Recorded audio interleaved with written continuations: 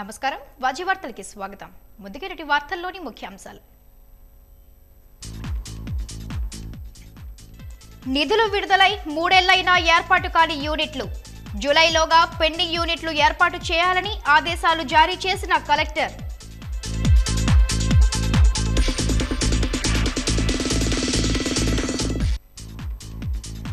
రేపటితో ముగైనున్న ఆస్తి పన్ను చెల్లింపులు. తక్షణమే చెల్లించి వడ్డీ మినహాయింపు పొందాలని పిలుపునిచ్చిన కమిషనర్.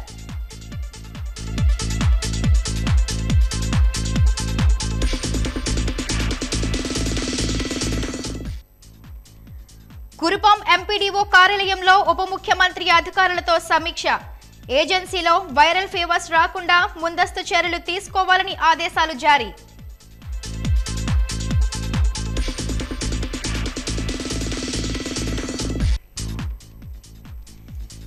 ఏబీవీపీ విద్యార్థులు అరెస్టుకు నిరసనగా ఎస్పీ కార్యాలయం ఎదుట బీజేపీ ధర్నా. బీజేపీ నాయకులను అరెస్టు చేసిన పోలీసులు.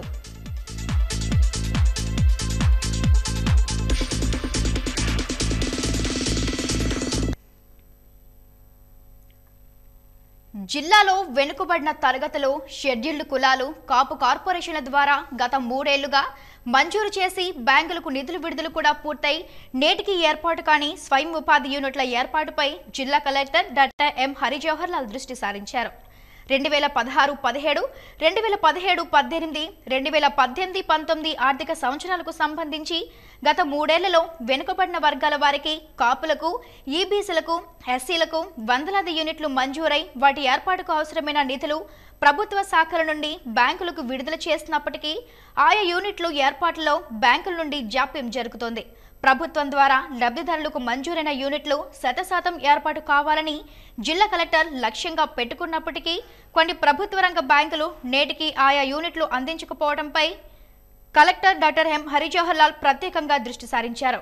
ఈ మేరకు ఆయా కార్పొరేషన్ల అధికారులు బ్యాంకర్లతో దీనిపై కలెక్టర్ కార్యాలయంలో ఈరోజు ప్రత్యేక సమావేశం నిర్వహించారు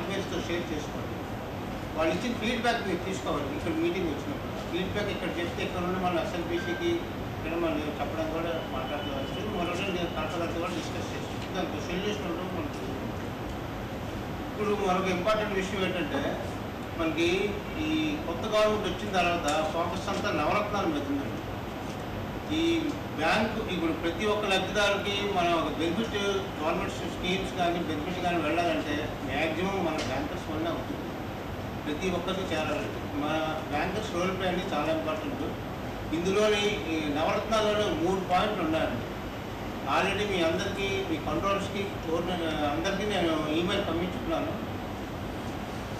అందులో ఒకటి ఏంటంటే సెల్ఫ్ హెల్ప్ గ్రూప్ అండి. సెల్ఫ్ హెల్ప్ గ్రూప్లో ఏంటంటే ఇంట్రెస్ట్ అనేది గవర్నమెంట్ మొత్తం పే చేస్తుంది. ప్రిన్సిపల్ అనేది ఈ ప్రెసిడెంట్ సెక్రటరీ వస్తారు. నెక్స్ట్ వెలుగు డిపార్ట్మెంట్ వాళ్ళు ఎవరో వస్తారు. వాళ్ళు వచ్చినప్పుడు నవంబర్ నాలుగో తేదీ రెండు వేల పంతొమ్మిది ఎంత అవుట్ స్టాండింగ్గా ఉందనేది ఖచ్చితంగా మీరు రాసి ఒక సర్టిఫికేట్ ఉంటుంది. సర్టిఫికేట్ ఇస్తే వాళ్ళు దాన్ని వేస్ట్ చేసుకొని బ్యాలెన్స్ సెలవు అవుతుంది? One to two percent spend చేస్తే కూడా టైం అండ్ వాల్యూ ఇస్తే కూడా ఖచ్చితంగా చాలా మార్పు కనిపిస్తుంది. మనము గవర్నమెంట్లో చేసిన బ్యాంకుల్లో చేసిన అక్కడ పేదవాళ్ళు ఉన్నారు అంటే మనకు ఆ చలించే గుణం స్పందించే గుణం లేకపోతే అది ఉపయోగపడదు.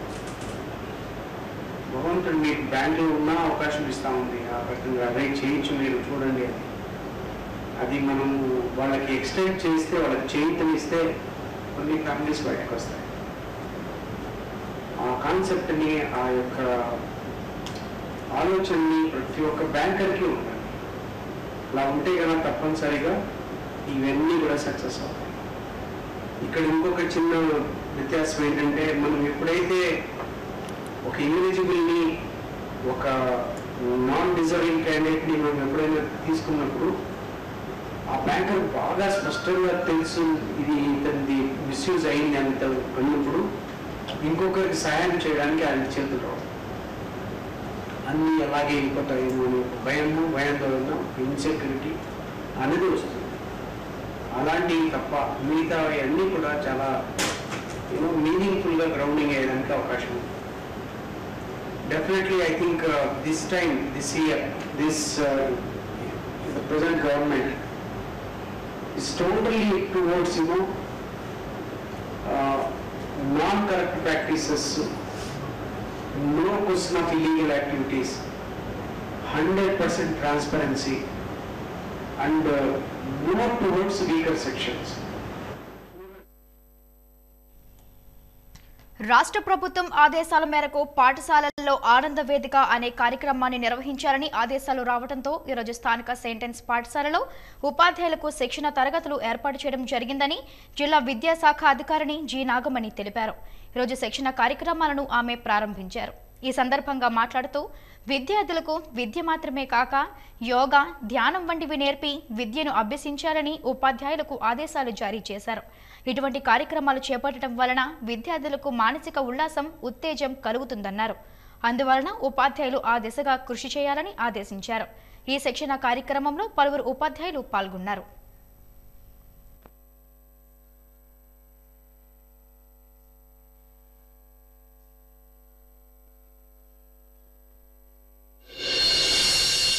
ఆనంద వేదిక అని ఎస్సీఆర్టీ నుంచి ఆనంద వేదిక అనే ప్రోగ్రామ్ని నూతనంగా ఇంట్రడ్యూస్ చేయడం జరిగింది. ఒకటో తరగతి నుంచి ఎనిమిదో తరగతి వరకు morning first half an hour పిల్లలకి ఆటపాటల ద్వారా విద్యను అందించాలి. స్ట్రెస్ అనేది ఉండకూడదు.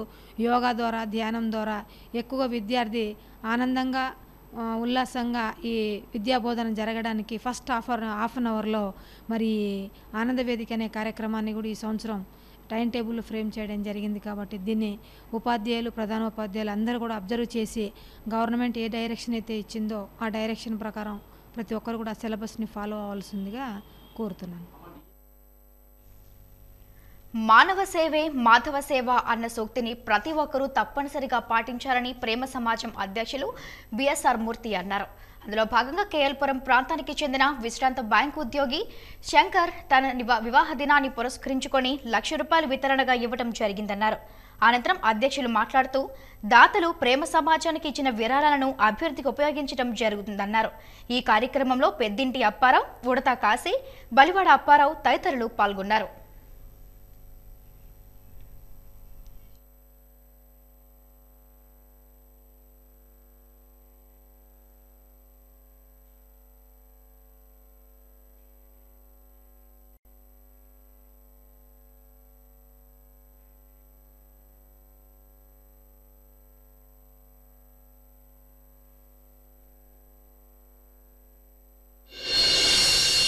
అవుతుందంటే వాటర్ స్టోరింగ్ కెపాసిటీ. ఇక్కడ మేము ఇంత నీరు స్టోర్ చేయడం వల్ల ఒక కిలోమీటర్ వరకు కూడా వంద అడుగులకు నీరు ఉంటుంది. అంటే అది వాళ్ళకు కూడా ఇది మనం సహాయం చేస్తున్నాం. ఈ వాటర్ని సద్వినియోగపరచుకోమని కోరుతున్నాం. ఒక లక్ష లీటర్ల నీరు ఇక్కడ నేను ఇవ్వగలను. ఇంకో యాభై వేల నీరు మన ఒక మనం అనుకుంటే కలెక్టర్ గారు మనం అనుకుంటే స్కౌట్ అండ్ గైడ్స్లో నేను ఇవ్వగలను. ఇంకో లక్ష లీటర్లు నీరు ఇచ్చే దాత ఉన్నాడు ఆయన రిక్వెస్ట్ చేస్తే ఇస్తాడు. ఇప్పుడు మీ ఇంట్లో నీరు ఎవరు ఇచ్చిస్తారు ఎవరో అధికారులు ఎవరో వచ్చి అడగాలి కదా. ఇది మనం ఒక ఉద్యోగంలా చేపట్టాలి. అందుకు ప్రేమ సమాజం ఈ లయన్స్ క్లబ్స్ స్వచ్ఛందంగా ఎవరికి పక్కన వాళ్ళకి చెప్పాలి. ఒకరు ప్రభుత్వం ఏదైనా కార్యక్రమం చెప్తుందంటే ఆ వేళ పేపర్లో కటింగ్ అయిపోదని అంతా మర్చిపోతారు. That becomes a government problem వాళ్ళే చేస్తారు కదండి. ఇది ప్రజా ఉద్యమంలా చేయాలంటే మీ పాత్రికేయుల సపోర్ట్ ఉంటే కానీ మనం చేయలేం.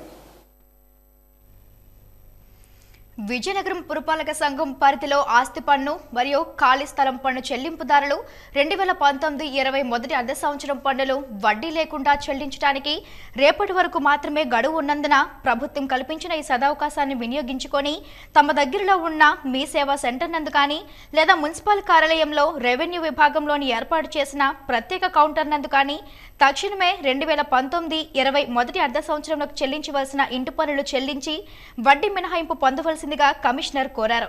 లేని ఎడ్ల జూలై ఒకటో తేదీ నుండి ఆంధ్రప్రదేశ్ పురపాలక చట్టం నిబంధనలు ప్రాప్తికి తమ యొక్క ఇంటి పన్నులపై వడ్డీ విధించబడుతుందని తెలియజేశారు. రేపు ఉదయం ఎనిమిది గంటల నుండి రాత్రి ఎనిమిది గంటల వరకు పన్నులు కట్టించుకునేందుకు పాత మున్సిపల్ కార్యాలయంలో సిబ్బంది అందుబాటులో ఉంటారని కమిషనర్ వర్మ తెలిపారు.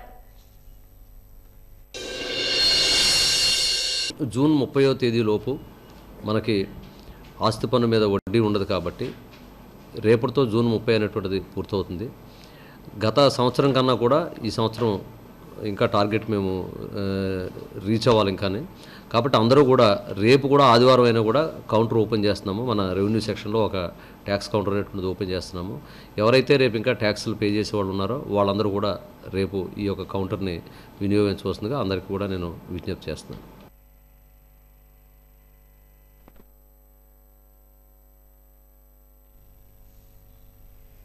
చేనేత కళాకారులకు చేయూతనిచ్చి వారిని ఆదరించాలని విజయనగరం ఎమ్మెల్యే కోలగట్ల వీరభద్రస్వామి పిలుపునిచ్చారు. రోజు స్థానిక టీటీడీ కళ్యాణ మండపంలో ఏర్పాటు చేసిన కళాభారతి హ్యాండీక్రాఫ్ట్స్ హ్యాండ్లూమ్స్ చేనేత వస్త్ర మరియు వస్తు ప్రదర్శన అమ్మకాలను ఆయన ప్రారంభించారు. ఈ సందర్భంగా చేనేత వస్త్రాల స్టాల్స్ను హస్తకళలను పరిశీలించారు. అనంతరం నిర్వాహకులు ఆయన్ను ఘనంగా సత్కరించారు. ఈ సందర్భంగా ఆయన మాట్లాడుతూ వ్యవసాయం తరువాత ప్రధానమైన చేనేత పరిశ్రమను ఆదుకునేందుకు ప్రభుత్వం చిత్తశుద్ధితో ఉందని ఆయన తెలిపారు. విజయనగరం ప్రాంతంలో ఇటువంటి ప్రదర్శనను ఏర్పాటు చేసినందుకు ఈ సందర్భంగా ఆయన అభినందనలు తెలిపారు. ఈ కార్యక్రమంలో కళాభారతి ప్రతినిధి కిషోర్ తదితరులు పాల్గొన్నారు.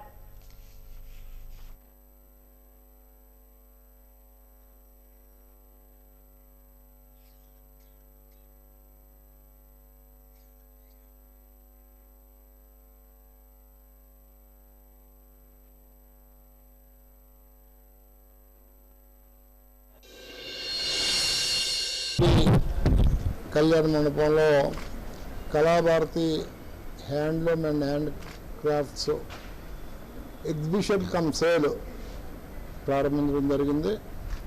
ప్రతి సంవత్సరం వీళ్ళు వచ్చి చేనేత వస్త్రాలని అలాగే చేతితో తయారు చేసిన వస్తువుల్ని తీసుకొచ్చి ఎగ్జిబిషన్ రూపేణ పెడుతూ అటు ఉత్తర ఇటు దక్షిణ దేశాలలో తయారైన వివిధ రాష్ట్రాల నుంచి వచ్చి స్టాల్స్ పెడుతుంటారు.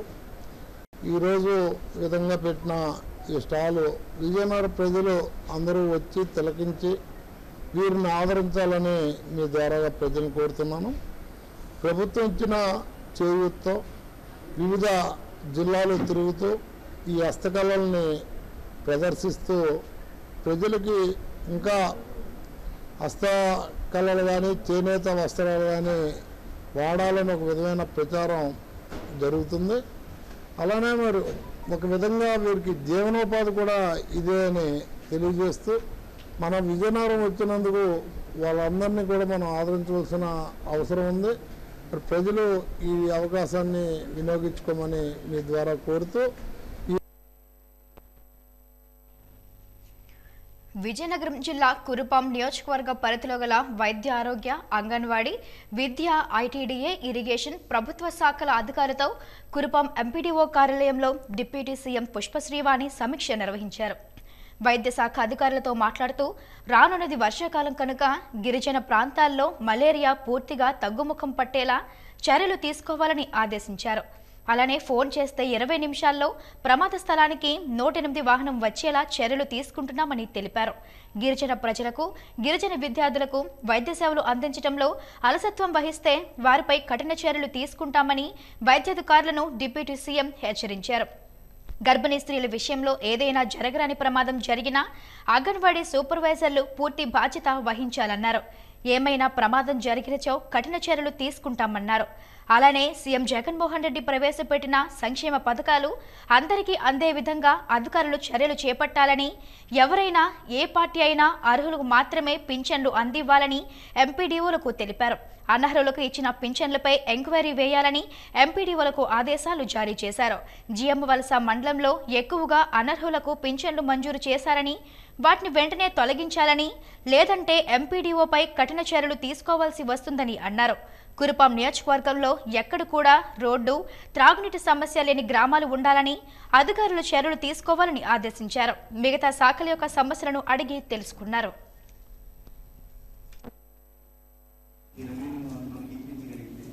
చాలా మటుకు ఎమర్జెన్సీ మీటింగ్ కూడా ఇదే ఆఫీస్లో అయితే ప్రాబ్లం ఉంది మేడం అక్కడే ఉండడానికి అవకాశం ఉంది అది ఒకటి ఉంది మేడం గవర్నెన్స్ ప్రాబ్లం ఉంటుంది ఇంకొకటి మనకి రైనీ సీజన్ వస్తుంది కాబట్టి ఆ, ఈ ఉంటుంది కదా మళ్ళీ దోమలు జిల్లాలోని ప్రత్యేక అవసరాల విద్యకు చెందిన స్కూల్ అసిస్టెంట్ టీచర్ పోస్టుల భర్తీ కోసం ఈ నెల ముప్పైన నిర్వహిస్తున్న స్పెషల్ డిఎస్సి రెండు వేల పంతొమ్మిది పరీక్షకు ఏర్పాట్లు పూర్తయ్యాయి. నెల పంతొమ్మిదిన జరగవలసిన అనివార్య కారణాల వల్ల పరీక్ష వాయిదా పడిన సంగతి తెలిసిందే. ఈ సందర్భంగా డీఈఓ జి నాగుమణి నిన్న విలేకరులతో మాట్లాడుతూ పరీక్షను స్థానిక గాజులరేగ సీతం ఇంజనీరింగ్ కళాశాల ప్రాంగణంలోని అయాన్ డిజిటల్ జోన్లో నిర్వహిస్తున్నట్లు తెలిపారు. జిల్లాలో ఖాళీగా ఉన్న నలభై తొమ్మిది పోస్టులకు దరఖాస్తు చేసుకున్న రెండు వందల నలభై ఆరు మంది అభ్యర్థులకు ఇప్పటికే హాల్ టికెట్లు పంపిణీ చేశామని తెలిపారు. ఆన్లైన్లో జరిగే ఈ పరీక్ష ఆ రోజు ఉదయం తొమ్మిది గంటల నుండి మధ్యాహ్నం పన్నెండు గంటల వరకు జరుగుతుందని తెలిపారు. అభ్యర్థులు హాల్ టికెట్తో పాటు ఒరిజినల్ ఐడి ప్రూఫ్లను తప్పనిసరిగా తీసుకురావాలని సూచించారు. పరీక్ష సమయానికి గంట ముందే హాజరు కావాలని అంధత్వ అభ్యర్థులకు మాత్రమే అదనంగా యాభై నిమిషాల అవకాశం ఇస్తామని పేర్కొన్నారు. ఇతర విభిన్న ప్రతిభావంతులకు అదనపు సమయం ఉండదన్నారు. హాల్ టికెట్పై అభ్యర్థులు ఫోటో లేకపోతే తాజా పాస్పోర్ట్ ఫోటోతో పాటు ఏదైనా గుర్తింపు కార్డు తీసుకురావాలని ఇంకా ఏమైనా సందేహాలుంటే nine double four zero double three eight zero four five నంబర్కు సంప్రదించవచ్చని డీఈఓ తెలిపారు.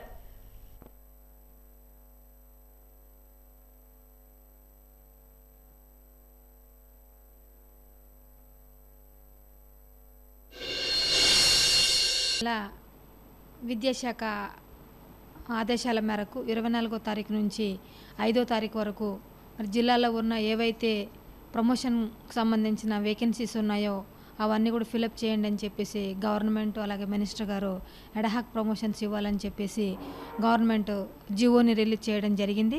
ఇందులో భాగంగా జిల్లా వ్యాప్తంగా ప్రమోషన్లో మనం రెండు వందల నలభై రెండు పోస్టులని మనం ఫిలప్ చేస్తున్నాం వేరియస్ కేటగిరీస్లో హెడ్ మాస్టర్స్కి సంబంధించి ముప్పై ఏడు పోస్టులు జిల్లాలో ఖాళీగా ఉన్నాయి. హై స్కూల్ హెడ్ మాస్టర్స్ అవన్నీ కూడా ఈ నెల ఆర్జేడీ గారి ఆధ్వర్యంలో ఫిలప్ అవుతాయి.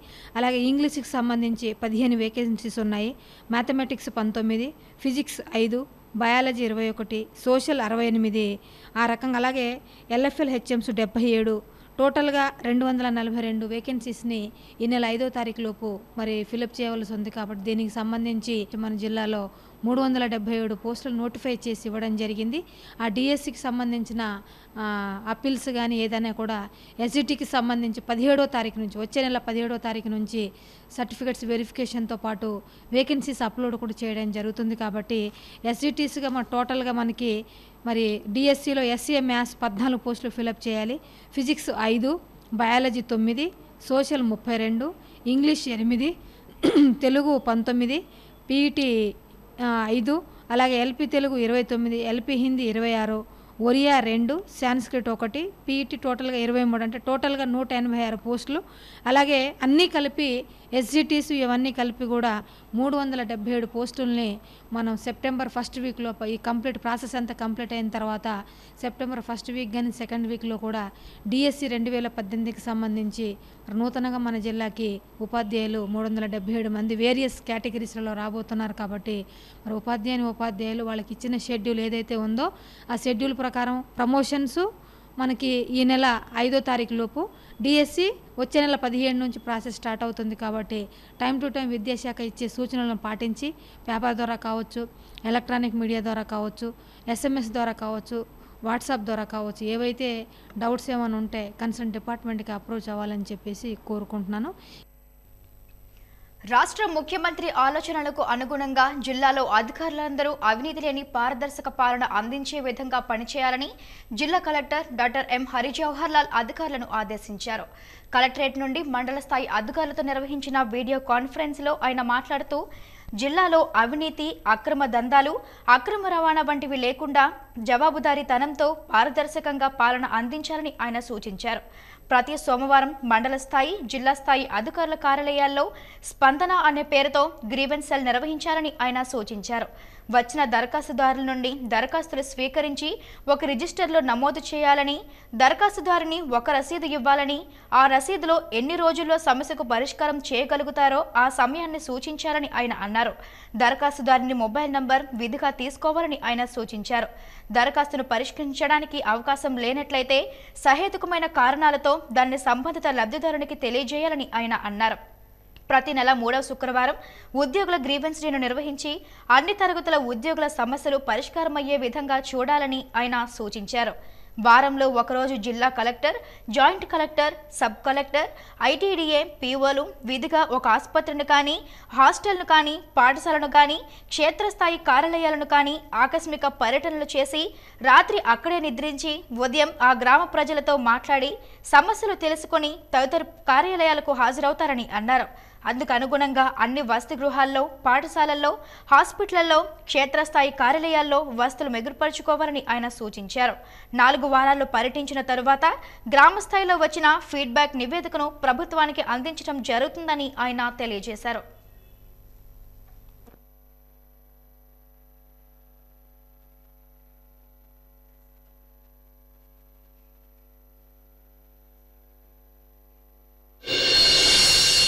మెడికల్ అండ్ హెల్త్లో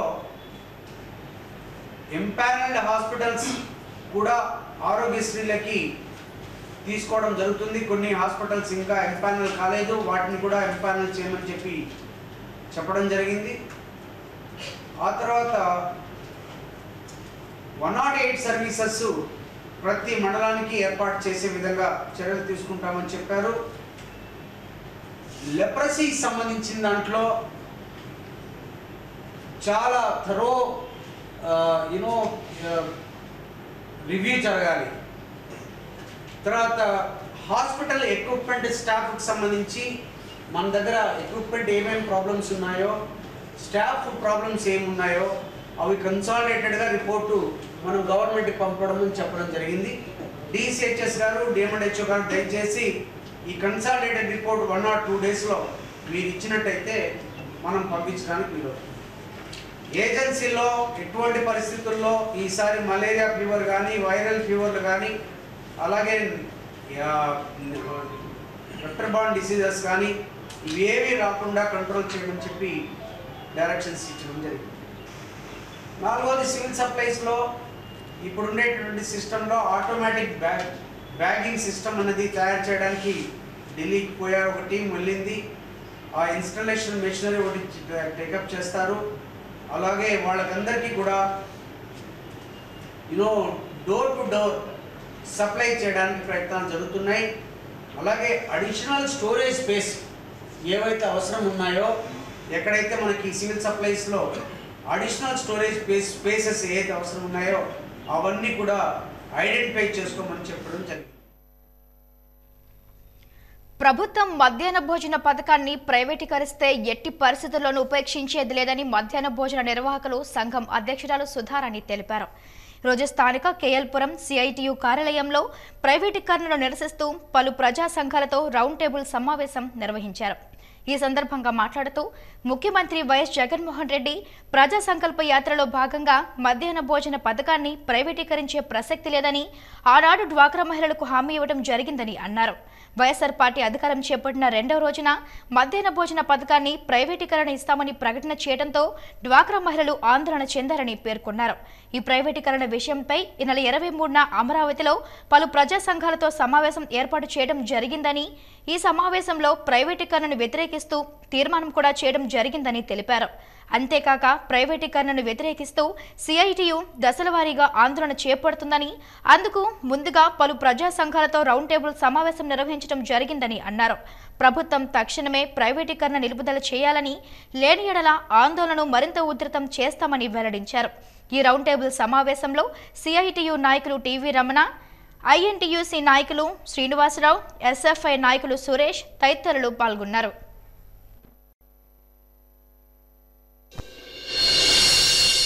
మూడో తేదీన రాష్ట్ర వ్యాప్తంగా అన్ని సంఘాలు పిలిచి రాష్ట్ర సదస్సు జరిగింది. అందులో పోరాటాల రూపాలు మేము అనుకోవడం జరిగింది. అందులో భాగంగా ఈరోజు రౌండ్ టేబుల్ జరుగుతుంది. మధ్యాహ్న భోజన పథకం ప్రైవేటీకరణ చేయడం దుర్మార్గం అనేది ఈరోజు మేము సీఎం గారికి తెలియజేస్తున్నాం. గతంలో మేము అనేక పోరాటాలు చేసి చంద్రబాబు నాయుడు గారు ప్రైవేటీకరణ చేస్తానంటే మూడు సంవత్సరాల పాటు పోరాటం చేసి వెనక్కి తిప్పుకొట్టాం? ఇప్పుడు సీఎం పదవి ప్రమాణ స్వీకారం అయిన రెండో రోజునే అక్- వైఎస్ఆర్ అక్షయ్ పాత్రకి మధ్యాహ్న భోజన పథకం ప్రైవేటీకరణ చేస్తున్నామని ప్రకటించారు. మేమందరం ఓట్లేస్తే ఈరోజు జగన్మోహన్ రెడ్డి గారు గెలిచారనే విషయాన్ని మర్చిపోయి మధ్యాహ్న భోజన పథకం డోక్రా మహిళలు పేద మహిళలు మీ అక్కలు మీ చెల్లులు అని చెప్పారు కదా వీళ్ళే వండి పెడుతున్నారు. కాబట్టి వీళ్ళు ఉపాధి పోతుంది. మరొకటి పిల్లలకి వేడి వేడి భోజనం పెట్టమని సుప్రీంకోర్టు తీర్పిచ్చింది. కానీ ఆ తీర్పును పక్కన పెట్టి ఈరోజు మన రాష్ట్రంలో ప్రైవేట్ సంస్థలకి ఇవ్వడం అనేది ఎంతవరకు న్యాయం అని మేము అడుగుతున్నాం. ప్రైవేట్ సంస్థ నవప్రయాసపడిస్తున్న భోజనం తినకున్నా ఈరోజు అంతా కూడా చెత్త కుప్పల్లో పడుతుంది పందులు వేస్తున్నారు ఆ నవప్రయాసపడి తెచ్చే భోజనం కాబట్టి ఇప్పటికైనా సరే వెనక్కి తీసుకోవాలి.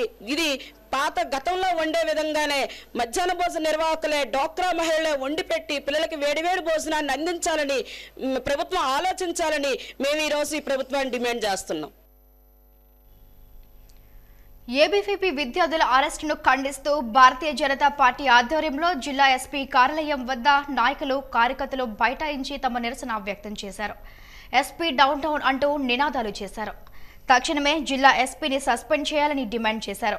ఈ సమయంలో జిల్లా ఏఎస్పీ నాయకులను సర్ది చెప్పే ప్రయత్నం చేసినా నాయకులు తమ డిమాండ్కు కట్టుబడి ఉన్నామని తేల్చి చెప్పారు. సందర్భంగా ఆ పార్టీ రాష్ట్ర కోశాధికారి పాకలపాటి సన్యాసరాజు మాట్లాడుతూ ఏబీవీపీ విద్యార్థులు శాంతియుతంగా పాఠశాలల బంద్ నిర్వహిస్తుంటే గురజాడ విద్యా సంస్థల సిబ్బంది వారిపై దాడి చేసి వారిని రచ్చగొట్టారని ఆరోపించారు. ఈ సంఘటనపై పోలీసులు స్పందించిన తీరు సిగ్గుచేటుగా ఉందని ఆరోపించారు. దేశ ద్రోహులతోనో టెర్రరిస్టుల్లోనో రేపిస్టుల్లోనో చూపించినట్లుగా తలలకు ముసుగులు వేసి పత్రికల్లో ప్రచురించేలా ఇవ్వడం దారుణమన్నారు. దీనిపై తప్పకుండా ఎస్పీని సస్పెండ్ చేయాలని డిమాండ్ చేశారు.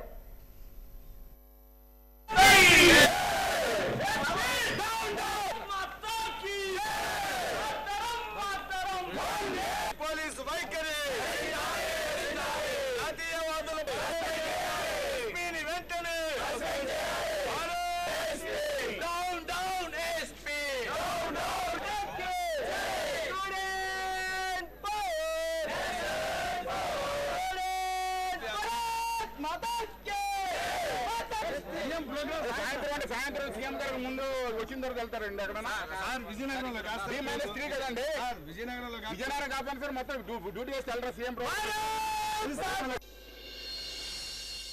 వర్గం సంబంధించిన వాళ్ళు స్పెషల్గా టార్గెట్ చేసి ఏబీపీ విద్యార్థులు ఒక గురుజాల అనే స్కూల్లోకి వెళ్తే బంద్ చేయమని చెప్తే విద్యార్థుల కోసం పేద విద్యార్థుల కోసం మధ్యతర విద్యార్థుల కోసం ఈరోజు వేలకు వేలకు జీవో నెంబర్ ఒకటి ప్రకారం వేలకు వేలకు యూనిఫామ్ రూపంలో పుస్తకాల రూపంలో వేలకు వేలకు రూపాయలు డబ్బులు దోచుకొని విద్యార్థుల జీవితాలు నాశనం చేసిన ప్రైవేట్ యొక్క కార్పొరేట్ యొక్క సెక్టర్ని వాటిపైన పోరాడుతుంటే దేశం కోసం పనిచేసిన విద్యార్థి సంఘం ఏబీపీ కోసము ఈరోజు ఏబీ విద్యార్థి నాయకులు కొడతారా? మీకు దమ్ముంటే స్కూల్ వాళ్ళు ఎక్కడ నడుపుతారో ఈ రోజు మేము చూస్తాము. అదేవిధంగా రానున్న కాలంలో ఆంధ్రప్రదేశ్ రాష్ట్ర మొత్తం కూడా ఈ రోజు శ్రీకాకుళం నుంచి అనంతపురం వరకు ప్రతి ఒక్క జిల్లాలో కలెక్టరేట్ యొక్క రిప్రజెంటేషన్ చేయడం జరిగింది. ప్రతి ఒక్క జిల్లాలో ఎస్పీ సంబంధించిన డిస్ట్రిక్ట్ బొమ్మ కూడా కాలుస్తున్నాము. ఈ యొక్క ఆంధ్రప్రదేశ్ రాష్ట్రంలో ఏబీవీపీ అనే ఒక దేశం దాదాపు డెబ్బై సంవత్సరాల హిస్టరీలో ఎప్పుడు కూడా ఇంత అవమానం ఏబీవీపీకి ఎప్పుడు కూడా ఈ యొక్క బ్లాక్ యొక్క ధరించి విద్యార్థులని నాయకులను ఈరోజు అవమానించారు. అటువంటి యొక్క ఎస్పీ గారిని వెంటనే సస్పెండ్ చేయాలి. ఈరోజు మేము మా యొక్క బృందం డీజీపీ గారిని కలుస్తాము. అందుకోసం ఈరోజు పోరాడుతున్న విద్యార్థులని ఈరోజు సస్పెండ్ అరెస్ట్ చేస్తారా? అరెస్ట్ చేసి ఇంత ఘోరంగా అవమానిస్తారా? మీకు దమ్ముంటే చూసుకోండి. ఇప్పటి నుంచి పోలీస్ వ్యవస్థ మీద ఈరోజు సమాజంలో గౌరవం పోయింది దీనితో. ఈరోజు ఈ కామన్ యొక్క పీపుల్ కూడా అందరూ రెస్పాండ్ అయ్యి రానున్న కాలంలో పోలీస్ వ్యవస్థకు అందరూ బుద్ధి చెప్తారని చెప్పి ఇప్పుడే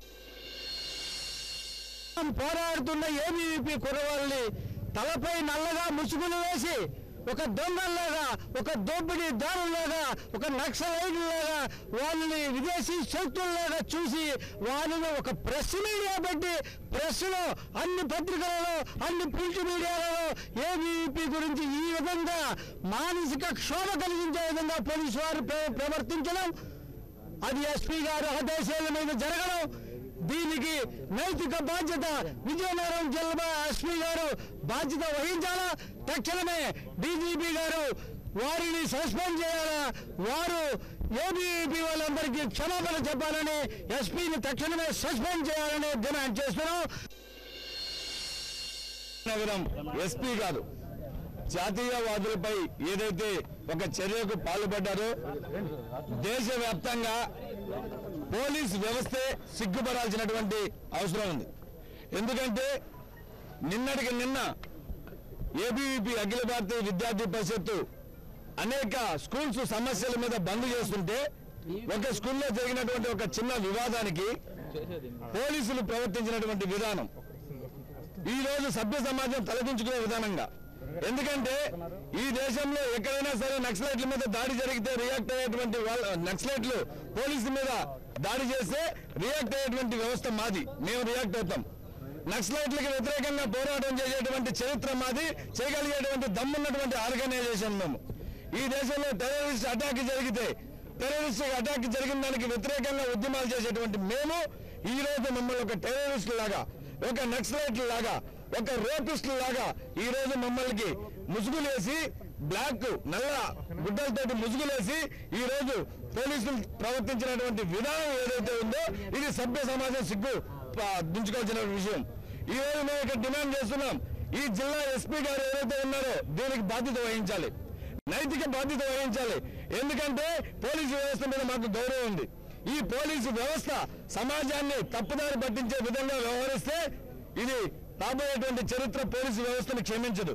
కాబట్టి తక్షణం డీజీపీ దీన్ని తీసుకోవాలి. అదేవిధంగా ఈ యొక్క రాష్ట్ర హోంమంత్రి ఈ యొక్క విషయాన్ని సీరియస్గా తీసుకోవాలి. రాష్ట్ర ఇదిలా ఉండగా పరిస్థితి ఉధృతంగా మారడంతో పోలీసులు బీజేపీ నాయకులను ఏబీవీపీ విద్యార్థులను అరెస్టు చేశారు. ఈ క్రమంలో పోలీసులకు నాయకులకు మధ్య వివాదం చెలరేగింది.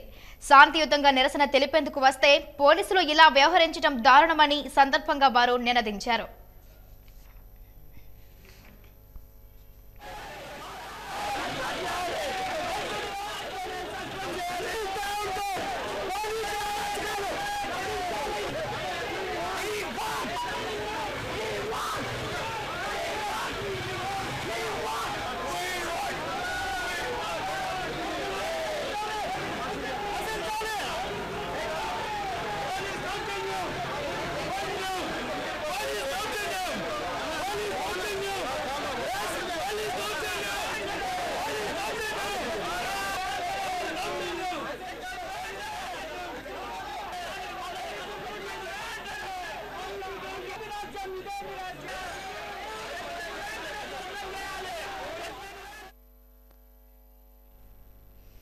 ముఖ్యమంత్రి వైఎస్ జగన్మోహన్ రెడ్డి ఆశయాలను ముందుకు తీసుకువెళ్ళాలని అవకాశం ఉన్నంత మేరకు నాయకులు కార్యకర్తలు ప్రజాసేవకు సమయం కేటాయించాలని విజయనగరం నియోజకవర్గ శాసనసభ్యులు కోలగట్ల వీరభద్రస్వామి అన్నారు.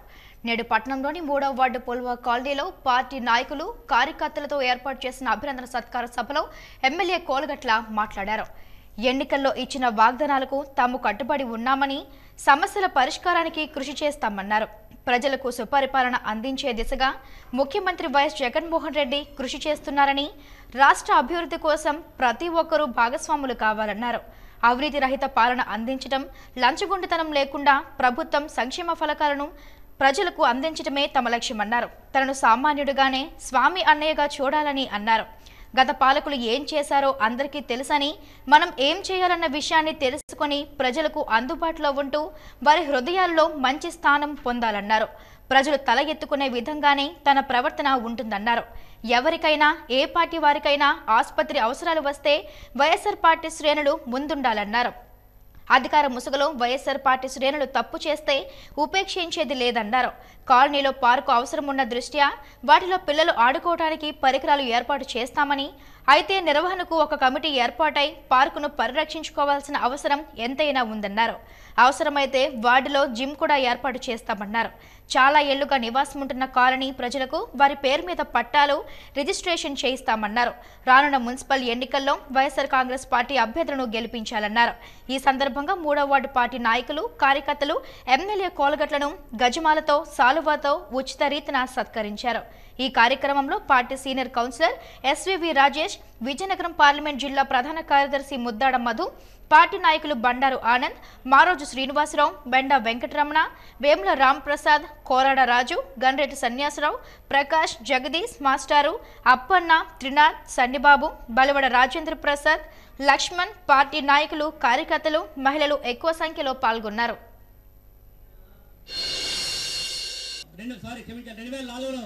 ఎమ్మెల్యేగా పనిచేశారు. ఐదు సంవత్సరాల కాలం అవకాశం ఇచ్చాం. ఐదు సంవత్సరాల కాలంలో పదిహేను సంవత్సరాల అభివృద్ధిని చేసి చూపించారు. ప్రత్యేకించి పట్టణంలో తీసుకోండి రోడ్లు విస్తరణ అవనివ్వండి ప్రజా సంక్షేమ కార్యక్రమాలు అవ్వండి జూనియర్ ఇంటర్ కాలేజ్ అవనివ్వండి ప్రత్యేకించి మనం మూడో వారు తీసుకుంటే రెండు వేల ఆరులో సుమారుగా రెండున్నర కోట్ల రూపాయలతో ఇక్కడ రోడ్ల పనులని చేపట్టారు. అప్పటి వరకు మన ఈ మూడు నాలుగు వార్డులకు గాను దేనికి కూడా మనకి ఒక విధమైన ప్రాముఖ్యత ఉండేది కాదు.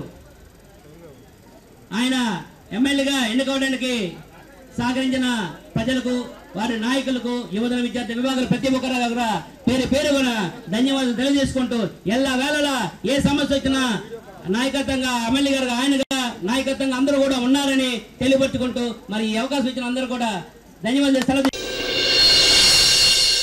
బట్టి రాజకీయాల్లో ఉంటున్నప్పటికీ ఎవరి దగ్గర ఏ సందర్భంలో ఏ రూపాయినా ఒక రూపాయి లంచం తీసుకోలేదు. నన్ను దయచేసి ఎవరు కూడా ఎమ్మెల్యేగా చూడొద్దు సోమన్నిగానే చూడండి. ఎందుకంటే మీ మనసులో మా అన్నయ్య అనే అభిప్రాయం మీకు ఉన్నప్పుడే మీరు ఏదైనా సమస్య నా దగ్గర రాగలుగుతారు. ఎమ్మెల్యేగా చూస్తే వెళ్తే పలకరిస్తాడో లేదో మన పని చెప్తే వింటాడో లేదో మన లోపలికి రాణిస్తారో లేదో అనే ఒక ఆలోచన ఉంటుంది. కాబట్టి అందరినీ కోరుకున్నాను నన్ను సోమనిగానే చూడండి. నేతలు గత పాలకులు ఏం చేశారనేది మనకు తెలుసు. మనం ఏం చేయాలనేది కూడా నాకు తెలుసు. నేను ఒక మాట చెప్తున్నాను అందరికి. ఎక్కడికి నాకు ఓటు వేసిన వారు కానీ నాకు ఓటు వేయించిన వారు కానీ నాయకులు కార్యకర్తలు అందరూ కూడా ఇంటింటికి తిరిగి ఓటు వేయించారు మాకు. నా తాలూకా ప్రవర్తనతో నా తాలూకా వ్యవహార శైలితో ఏ సందర్భంలో వాళ్ళు తలదించుకోకుండా నేను ఉంటానని. గర్వంగా గర్వంగా మేము వీరభద్ర స్వామి మనుషులమే వైఎస్ఆర్ కాంగ్రెస్ పార్టీ నాయకులు అని చెప్పుకునేటట్టు మా ప్రవర్తన ఉంటుందని. ఎన్నికల ముందు మాట చెప్పాం. ఎవరికి ఎప్పుడు అవసరం వచ్చినా నా దగ్గర రండి. హాస్పిటల్ పని ఆరోగ్యపరమైన సమస్య వస్తే అర్ధరాత్రి రెండు మూడు నాలుగు చూడకుండా నా ఇంటికి రండి నేను పలుకుతాను నా మనుషులు పలుకుతారు. ఒక గర్భిణీ స్త్రీకి అత్యవసరంగా ఆపరేషన్ చేయవలసి వస్తుంది. ఒక హార్ట్ పేషెంట్కి అత్యవసరంగా ఆపరేషన్ చేయవలసి వస్తుంది. ఒక యాక్సిడెంట్ అవుతుంది. మీకు పక్కింటోలో ఎదురింటోలో చుట్టాలో స్నేహితులు అయితే అర్ధరాత్రి కూడా ఏం చేయాలని కాలు చేయ అన్న పరిస్థితిలో ఒకవేళ రక్తం తెచ్చుకోండి అంటారు హాస్పిటల్లో. ఎక్కడ పరిగెడతామని నీకో నీకో ఫోన్ చేస్తే మేమేం చేయగలం చెప్పకండి. సోమని ఇంటికి వెళ్ళండి నీ పని జరుగుతుందని చెప్పండి. కేంద్ర ప్రభుత్వం ప్రవేశపెట్టిన సంక్షేమ పథకాలను విస్తృతంగా ప్రచారం చేసేందుకు కార్యకర్తలను ఎంపిక చేయడం జరుగుతుందని నెహ్రూ యువ కేంద్రం అధికారి విక్రమాదిత్య తెలిపారు. ఈరోజు తమ కార్యాలయంలో మీడియాతో మాట్లాడుతూ జిల్లా వ్యాప్తంగా కార్యకర్తల నియామకానికి రెండు వేల దరఖాస్తులు రావడం జరిగిందని అందులో ముప్పై మందిని ఎంపిక చేయడం జరుగుతుందని పేర్కొన్నారు. ఈ ఎంపిక విధానం మూడు రోజుల పాటు నిర్వహించడం జరుగుతుందని ఎంపిక కాబడిన వారికి కేంద్ర ప్రభుత్వం ఆదేశాల మేరకు పలు విభాగాల్లో శిక్షణ కూడా అందచేయడం జరుగుతుందన్నారు. వీరంతా కేంద్ర ప్రభుత్వం అమలు చేస్తున్న సంక్షేమ పథకాలను ప్రజలకు తెలియజేసి తమ నైపుణ్యతను నిలబెట్టుకోవాలని తెలిపారు. వీరికి నెలకు ఐదు వేల రూపాయలు పారితోషికం కూడా అందజేస్తుందన్నారు. ఈ ఎంపికలు పారదర్శకంగా జరుగుతాయని కమిటీకి జిల్లా కలెక్టర్ చైర్మన్గా వ్యవహరిస్తారని తెలిపారు.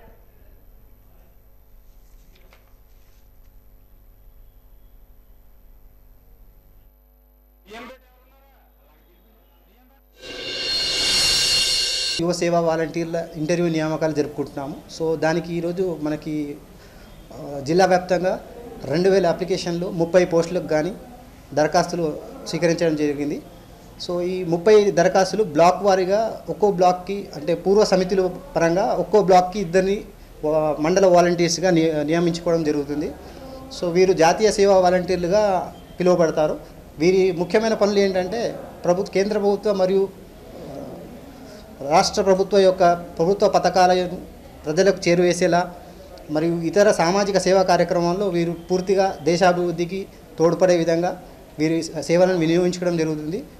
ఈరోజు మూడు బ్లాక్స్కి ఉదయం మధ్యాహ్నం మూడు బ్లాక్స్కి అలాగే ఇరవై తొమ్మిది ముప్పై ఒకటి జూలై వరకు ఇంటర్వ్యూలు జరుగు ఇంటర్వ్యూలు జరుపుతారు. సో ఈ మూడు రోజులు ఇంటర్వ్యూలు జరపడానికి వివిధ జిల్లాల వివిధ మండలాల నుంచి చాలామంది వచ్చారు. సో ఈ ముప్పై మందికి వాలంటీర్ని నియమించుకోవడానికి ఇంటర్వ్యూ ప్యానల్లో జాయింట్ కలెక్టర్ గారిని district selection committee chairman collector గారు నియమించడం జరిగింది. అలాగే వ్యాప్తంగా పలు కార్యక్రమాల్లో ఒక ట్రైనింగ్ ఫర్ ట్రైనర్స్ లాగా ఒక పీర్ ఎడ్యుకేటర్స్ లాగా వినియోగించుకుంటాము. దీనికి కలెక్టర్ గారి సహకారం పూర్తిగా అందిస్తారని చెప్పి మాకు తెలియజేయడం జరిగింది. నటి వాచి వార్తలు ముగించే ముందు ముఖ్యాంశాలు మరోసారి. నిధులు విడుదలై మూడేళ్ళైనా ఏర్పాటు కాని యూనిట్లు. జులైలోగా పెండింగ్ యూనిట్లు ఏర్పాటు చేయాలని ఆదేశాలు జారీ చేసిన కలెక్టర్.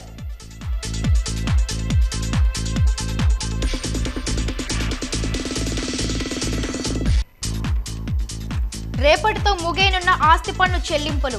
తక్షణమే చెల్లించి వడ్డీ మినహాయింపు పొందాలని పిలుపునిచ్చిన కమిషనర్.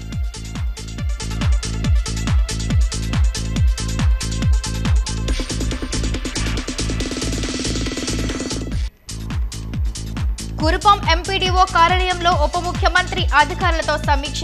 ఏజెన్సీలో వైరల్ ఫీవర్స్ రాకుండా ముందస్తు చర్యలు తీసుకోవాలని ఆదేశాలు జారీ.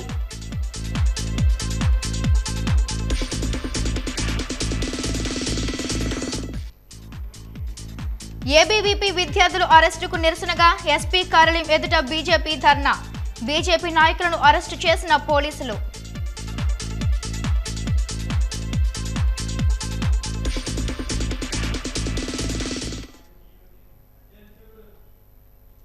నటి వాజీ వార్తలు ఇంతటితో సమాప్తం. నమస్కారం.